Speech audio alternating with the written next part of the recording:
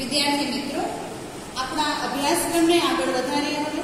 બીજો પાઠ છે આપણો, રેસનો ઘોડો. કે જેના લેખિકા છે વર્ષા અડાલજા. આ પાઠનો સાહિત્ય પ્રકાર છે નવલિકા. આપણે એને વાર્તા પણ કહી શકાય. હવે, સામાન્ય પરિચય આપણે લેખિકાનો જોઈએ કે વર્ષા ગુણવંતરાય આચાર્યનો જન્મ મુંબઈમાં થયો હતો. તેમણે આકાશવાણી મુંબઈમાં પ્રવક્તા તરીકે પણ કામ કર્યું હતું. તે રંગભૂમિ સાથે સંકળાયેલા હતા. એમની અન્ય કૃતિઓ આપણે જોઈએ તો એની અંદર ગાંઠ છૂટિયાની વેળા, અણસાર, ખરી પડેલો તહુકો રેત પંખી મારે પણ એક ઘર હોય. ક્રોસ રોડ એ તેમની નોંધપાત્ર નવલકથાઓ છે. ત્યાર પછી એ સાંજને ઉંબર વર્ષા અડાજાની શ્રેષ્ઠ વાર્તાઓ, તેના નોંધપાત્ર વાર્તા સંગ્રહો છે.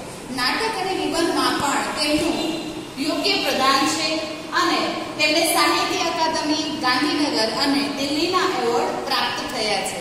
હવે આપણો આ જે પાઠ છે, આપણી વાર્તા છે, રેસનો ઘોડો.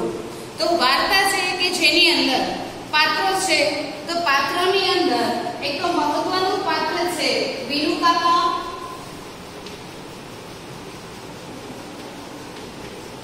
સૌરભ અંકિત કે આ મહત્વના પાત્ર છે ત્યારબાદ વિનુ કાકાના પત્ની છે મંજુ કાકી અને વિનુ કાકા અને મંજુ કાકીનો દીકરો છે સૌરભ જ્યારે સંજયભાઈ અને નીનાબેન એનો દીકરો છે અંકિત. હવે વાર્તા એવી રીતે આખી બનેલી છે કે અત્યારની જે વાસ્તવિકતા છે કે વર્ષા આડા જાય આજનો જે સમાજ છે કે જેની અંદર માતા પિતા પોતાના સંતાનો પાસે અનેક ઘણી અપેક્ષાઓ રાખે છે, તો આ વાત ઉપર ટકોર કરે છે કે તમે સંતાન પાસે એકથી અનેક ઘણી અપેક્ષાઓ રાખો છો. તમારા સંતાનોને રેસના ઘોડાની માફક દોડાવો છો. તો એ ક્યાં સુધી યોગ્ય છે? ક્યાં સુધી વ્યાજબી છે? આ વાત આપણે આ નવલિકામાં ભણવાની છે. બીજું કે વર્ષા અડાલજાએ આ વાર્તાના માધ્યમથી આપણા સુધી એક સંદેશો એ પણ પહોંચાડ્યો છે કે દરેક વિદ્યાર્થીને, દરેક વ્યક્તિને રેસના ઘોડાની જેમ દોડવાની જરૂર નથી. તમારું ડિગ્રી સર્ટિફિકેટ એ તમારી સાચી ઓળખ નથી. પણ તમે તમારા ઘરની અંદર, તમારા કર્તવ્યોમાં, તમારી ફરજમાં, તમારા લાગણીના જે સંબંધો છે માતા પિતાની સાથે, જે કંઈ ફરજોથી તમે બંધાયેલા છો, એને તમે કેટલો યોગ્ય ન્યાય આપો છો? આ વાત ખૂબ મહત્વની છે. હવે પાઠની અંદર આપણે મુખ્ય વસ્તુ શું છે? કે ભાઈ, શિક્ષણનો પાયાનો સિદ્ધાંત એ છે કે આનંદ આપવાનો. શિક્ષણ એટલે એક પ્રકારનો આનંદ આપવાની વાત છે. બાળકને સારો માણસ બનાવવાની વાત છે. માણસ એટલે કે એક ઉમદા માણસ. બરાબર છે? માણસ એટલે કેવા પ્રકારના માણસની વાત કરું છું? આ પાઠના માધ્યમથી કે એક ઉમદા માણસ બને. તો શિક્ષણ છે એ કામ શું કરે છે? કે એ વિદ્યાર્થીને, વ્યક્તિને ઘડીને એક ઉમદા માણસ બનાવે. વાલીઓની અપેક્ષાઓના કારણે આજનું જે શિક્ષણ છે એ વધુ સ્પર્ધાત્મક બન્યું છે. પરિણામે નાનપણથી જ વધુ ગુણ પ્રાપ્ત કરવાના કારણે તેનું બાળપણ છીનવાઈ જાય છે. તમારી જે સાચી શેરી રમતો છે, તમારો જે શૈશવ છે, એની ઉપર હવે તમારા કોઈ હક નથી રહ્યો. એના ઉપર હક છે તો કોમ્પ્યુટર ક્લાસીસ, ટીવીની અંદર તમે એવી બધી ચેનલો જોવો કે જેના તમારું જે જનરલ નોલેજ છે વધે એક્સ્ટ્રા ક્લાસીસ કરો સ્કેટિંગ ક્લાસ ડ્રોઈંગ ક્લાસ તો આવા ક્લાસીસ કરવામાં જ તમારું જે નાનપણ છે એ છીનવાઈ જાય છે. તમારું જે શૈશવ છે એનો સમય પસાર થઈ જાય છે. અને આ રીતે આ બાબતને લાલ બત્તી ધરતી આ વાર્તા છે, બાળકોને પોતાની રીતે વિકસવા દેવાની શીખ આ પાઠમાંથી મળે છે. ઘડપણમાં માતા પિતાને પૈસા કરતા પોતાના સંતાનોના સહારાની વધુ અપેક્ષા હોય છે. બરાબર? ડોક્ટર બનીને પરદેશ જનાર છોકરા કરતા દેશમાં રહીને પરિવાર સાથે આનંદથી રહેતો દીકરો કુટુંબ, સમાજ અને દેશ માટે વધુ આવકાર્ય છે. એવા ઘણા મુદ્દાઓ પર પ્રકાશ પાડતી આ વાર્તા છે. આપણે કોઈ નાનકડો એવો છોડ લઈ અને આપણે એને વાવ્યો હોય ખાડો ખોદીને તમે એને વાવો નિયમિતપણે તમે એનું એને એનું જતન કરો પાણી પાઓ. પણ એ છોડને એની જાતે જ તમારે વિકસવા દેવો પડે. તમે એમ કહો કે ના, મારે આ ડાળીને આ બાજુ વાળવી છે અથવા મારે આ બાજુ એને નમાવીને આમ વાળવું છે. તો તમે એને તમારી રીતે વાળી શકો નહીં.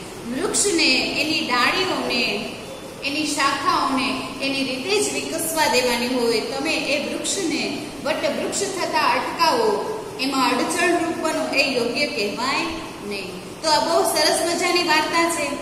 શરૂઆતમાં જ આપણે જોઈએ કે વિનુ કાકા વાત વાતમાં એમ કહેતા કે હંમેશા નિશાન ઊંચું રાખવું ત્યારે અંકિત છે એ પ્લાસ્ટિકની મોટી બધી એક ગન હોય, એને ઉપર ઝુમર તરફ તાકીને એ પૂછતો કે, અંકલ, આટલું ઊંચું નિશાન રાખવું?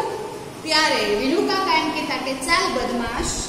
વિનુ કાકા એમ કહી અને ગન લઈ લેતા. પછી નાનકડા અંકિતને બાજુમાં બેસાડીને સમજાવતા કે, બેટા, સામાન્ય તો બધા ભણે, જીવે, પણ લાંબી લાંબી ડિગ્રી મેળવે, હરીફાઈઓમાં ચંદ્રક લાવે, ટીવી અખબારમાં ઇન્ટરવ્યુ અને ફોટા આવે, બસ તબ ક્યાં બાત હે. એટલે કે એ જ સાચું શિક્ષણ લીધેલું કહેવાય. હવે અંકિત છે, એની ઉંમર તો નાની. ચોથું અને પાંચમું ધોરણ ભણતા એવડા છોકરાઓ શું સમજે કે નિશાન ઊંચું રાખવાનું? ત્યારે અંકિત છે એ થોડું સમજે, થોડું ન સમજે. પણ મને અને સંજયને સંતોષ થતો. મને એટલે કે નીના બહેન અંકિતના મમ્મી. અને સંજયભાઈ એટલે કે અંકિતના પપ્પા. અંકિતને સલાહ શિખામણ આપવાની અમારે જરૂર જ ન પડતી. ઘણીવાર બાળકોને મા બાપની વાતો છે એ કચકચ લાગતી હોય છે. જ્યારે વિનુ કાકા એમના પુત્ર સૌરભની સાથે સાથે અંકિતને પણ જુદી જુદી રમતો રમાડે, ચોકલેટ આપે અને પછી અવનવી વાતો કરે.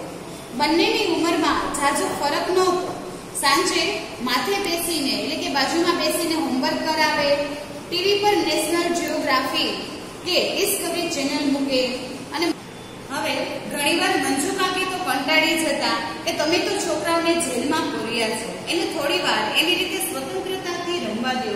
એને શેરીમાં એના જેવડા બાળ મિત્રો હારે મળવા દો.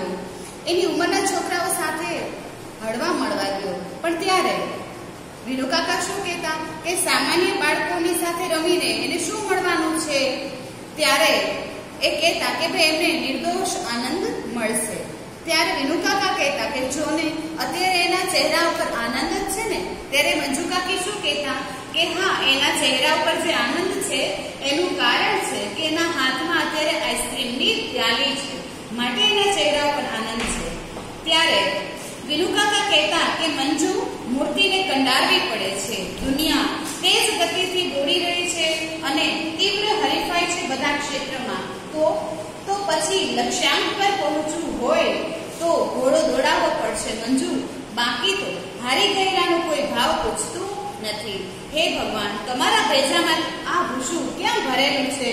હવે ગયા મહિને તમે ન જોયું કે એસએસસીમાં પરિણામ ઊંચું આવ્યું અને એ સૌથી વધુ ઊંચું પરિણામ લાવનાર સુપડપટ્ટીમાં રહેતો છોકરો હતો. તારી સાથે માથાકૂટ નકામી છે, આવું વિનુ કાકા કહેતા. અને કહે છે કે આવતા મહિનાથી સૌરભના કોમ્પ્યુટર ક્લાસ શરૂ થશે. મંજુ કાકી તો ગુસ્સે થયા. કે અત્યારથી એટલે કે પાંચમા ધોરણથી ક્લાસ સૌરભ ના પાડી દે બેટા, પપ્પાને.